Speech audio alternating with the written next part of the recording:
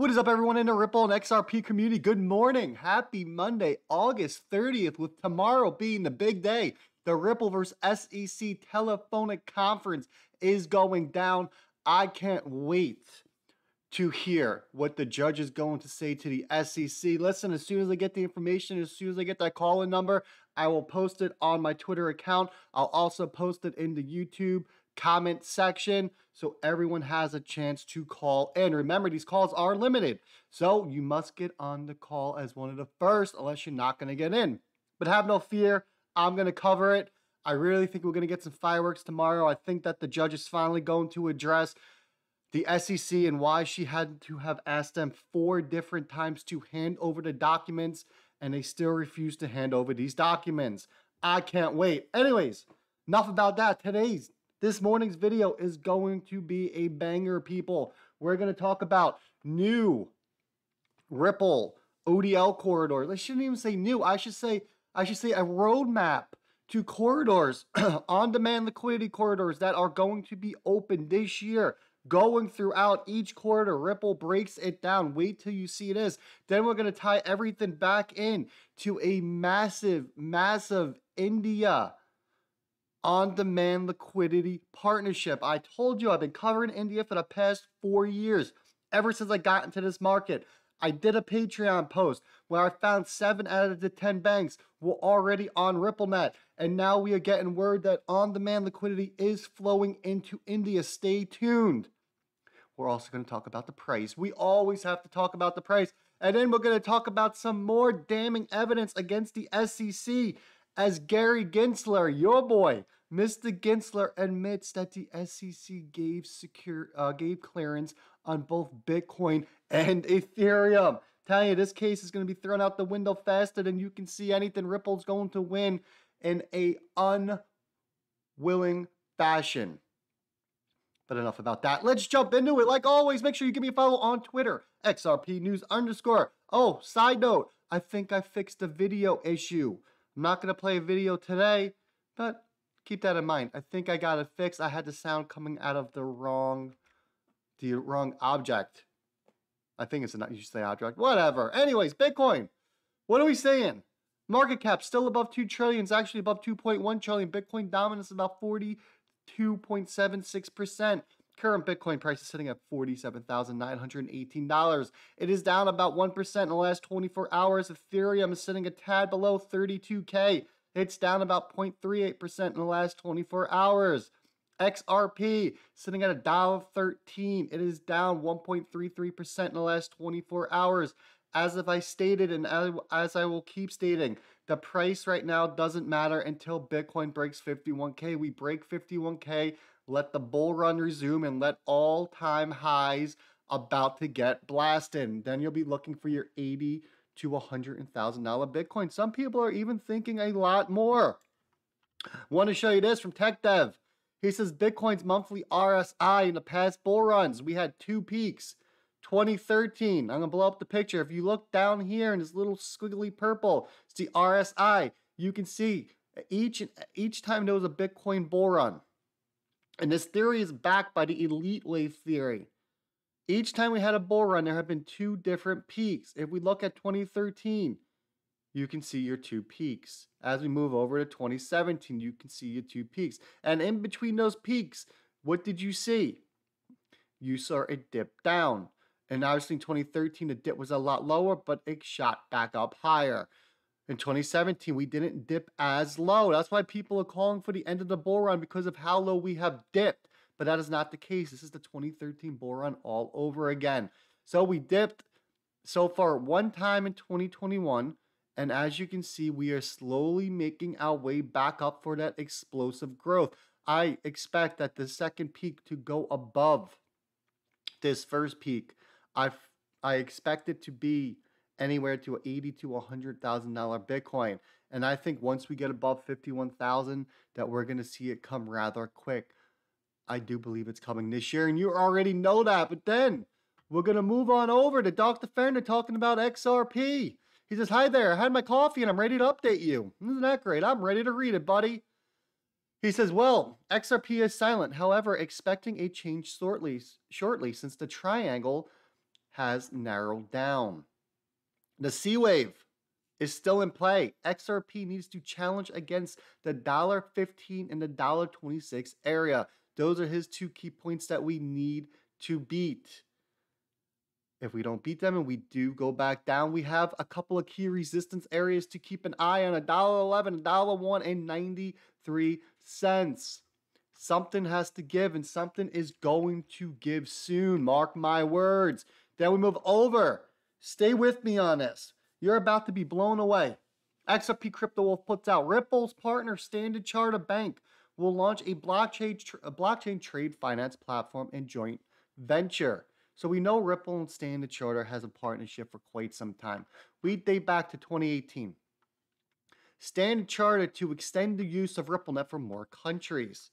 Standard Chartered extended use of Ripple Network for cross-border payments to five more pairs of countries over the coming year. So this has already been done. We're three years into this. They have gone even deeper. It says the bank went public with its use of Ripple of Ripple to unlock the 15 billion trade corridor between India and Singapore in November of 2018. Pay attention to those two corridors, India and Singapore. The system is being used. Remember those corridors right there. At that at this time it was xCurrent. Okay, they were not using on-demand liquidity just yet. The system is being used to speed up payment processes between buyers and sellers in a bank's corporate supply chain. Plans to extend the use of the platform were touched on by Standard Chartered CEO Bill Winters in the bank's Q1 management report. In a passage on the bank's investment in innovative initiatives, Winters states, and I quote, We are using blockchain technology to streamline cross border payments as part of the first live real time payments corridor between Singapore and India that we initiated in 2017. We will expand the capability to five more pairs of countries in 2018. So Standard Charter announced that they were uh, back on board with RippleNet in 2018. It was really happening in 2017. 2018, they said they're going to expand to five more countries. First two countries were India and Singapore. And they were doing this between the buyers and sellers in the bank's corporate supply chain. So we come back here talk about trade finance and Standard Charter has expanded, right? We move over to this tweet from Crypto Eddie. She puts this out this morning. And I think she just did a video on it. Make sure you go give her a watch. On demand liquidity continues to build out with the second half of the year, year going into new corridors. So Q1, now remember those two corridors, India and Singapore. Okay, India and Singapore were up on RippleNet in 2018, three years ago. What do you think it's time that they have moved to on demand liquidity? You're damn right. Q1 of this year, India through Nium started accepting or started leveraging XRP into and out of the country. So Q1, all the different countries that got on to XRP usage Australia, Hong Kong, India, Mexico, and the Philippines. Q2, Bangladesh, Europe, Philippines, Turkey, and United Kingdom. And the second half, what do we have coming later this year? Indonesia, Nigeria, Singapore, which is currently already in progress of migrating them over to on demand liquidity, and Thailand. What did Standard Chartered say here? India and Singapore. Singapore's in process. India's already there. You're about to see the heat turned up in the kitchen, folks, because India and Singapore are about to go live on XRP on on-demand liquidity via RippleNet. This is absolutely massive right here, this roadmap. And then Mickey B. Fresh. We are getting close to Songbird launch very soon. It's even, it's even, listen, it's either September or October. This thing is coming. All right. Are you ready to start earning network rewards on Songbird and Flare networks? Something you can't do of native XRP, but you receive Flare for just minting FXRP on the Flare network. Remember, the launch is right around the corner, people. It's either coming in the next four to eight weeks without any other further delays. I can't wait. And then to top it all off with the damning evidence against the SEC and throwing Gary Gensler under his own bus, the same bus that he rode in into on this court case. From Homeland Security's digital library, serial number 115 14, cryptocurrencies and oversight of new assets in the digital age, hearing before the Committee on the Agricultural House of Representatives, 115th Congress, second session, July 18th, 2018. Here's the document, people. What is this all about? I'm going to tell you right now humble peasant put this out Ironically, in 2018, Gary Gensler himself, in a testimony to Congress, cited that Hinman's speech was what he saw as the SEC's official view. Let me blow this up. Gary Gensler says this. Listen, follow closely. To bring greater clarity to these markets, the SEC must also determine how best to bring into compliance the over a thousand ICOs and numerous crypto exchanges still in operation in the US. Of work ahead of them to bring the issuer based cryptocurrency into compliance, the SEC's Director of the Division of Corporate Finance, William Hinman, sought to give additional direction in a speech, the also famous speech in June 14th of 2018. The crypto markets have gotten some clarity let me say that again. This is from Gary Gensler. Testimony to Congress. The crypto markets have gotten some clarity with the SEC stating that the two largest coins, Bitcoin and Ethereum, are not currently securities.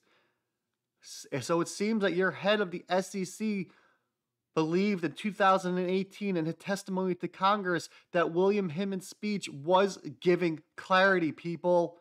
The crypto markets have gotten some clarity with the SEC stating that the two largest coins, Bitcoin and Ethereum, are not currently securities. Then it goes on to say, currently, near 70% of the crypto markets, 250 billion total capitalization is represented by the five cryptocurrencies which have either be, been designated by the SEC as not securities or were forks of the Bitcoin or Ether networks. If you recall in this committee that there is the issue of base crypto, which is kind of the SEC and their ICOs, there is a derivative crypto which the CFTC has, but it's going to have some challenges. And then there is the world, the whole cash commodity crypto, which is 70% of this world. So, I, I mean, I don't know what else there is to say. You have former SEC employees telling you that Hinman's speech was clarity. You have CNBC, MSNBC, you have the press covering that they thought that this speech was clarity. You have Ripple coming out there telling you that they thought that this speech was clarity. You have the former or the current head of the SEC in a speech in 2018, not in a speech, in a testimony to Congress, telling Congress that he thought Bitcoin and Ethereum were not securities because of William Hinman's speech. What else do we have to do here? This case is a joke. This case has to come to an end. This is clear as day. Everyone can see it. I'm sure the judge sees this as well. This speech was to give clarity. And that email from the SEC stating that the XRP back in 2020 that they did not make any classifications or label XRP as security should end this whole case. Something deeper is going on, like corruption. Something deeper is going on here, and I think Ripple is onto it. I think Ripple has discovered it. That is why they're going after the trading positions of the SEC folks. Listen, that's where I'm going to leave this video. Make sure you check out all the links in the description of this video. Check out my XRP store. The merch is flying. Sweatshirts, t-shirts, tumblers, coffee tumblers, you name it. Go have a look. Not a lot left, but I will be restocking with some new items today, so pay attention. Wash your damn hands. Be nice and be kind to each other. Ripple Van Winkle is out.